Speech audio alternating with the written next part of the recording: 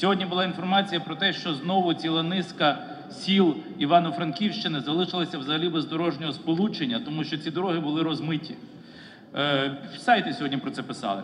Ми зареєстрували проект закону про внесення змін до деяких законів України щодо посилення державних гарантій для гірських і високогірних населених пунктів номер 6439.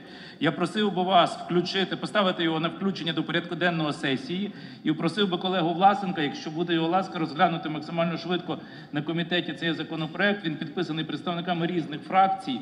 Це щодо високогірних районів і проблем, з якими е, зіткнулися ці райони.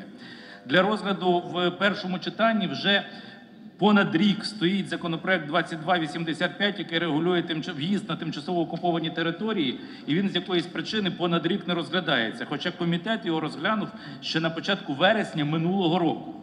Це ну трошки дивно, і мені здається, що це теж важливе питання. Просив би його е, поставити. Так само хочу звернути увагу, що в другому що комітет розглянув поправки до закону про 75% української мови. Це закон 5313.